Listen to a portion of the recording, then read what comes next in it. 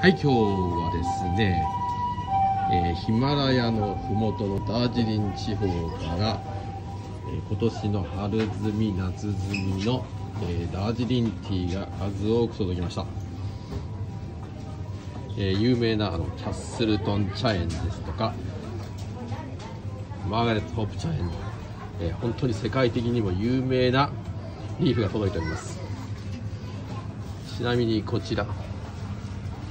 ムーンライトという葉っぱなんですけれども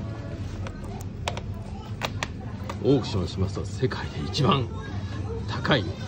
葉っぱだそうでございます。こんな感じでございます。で先生のおすすめなのがこちらのマスカテル。これがですね日本のあお願いします。日本の軟水にはね一番合う葉っぱだそうでございます、えーマスカテルおすすめです。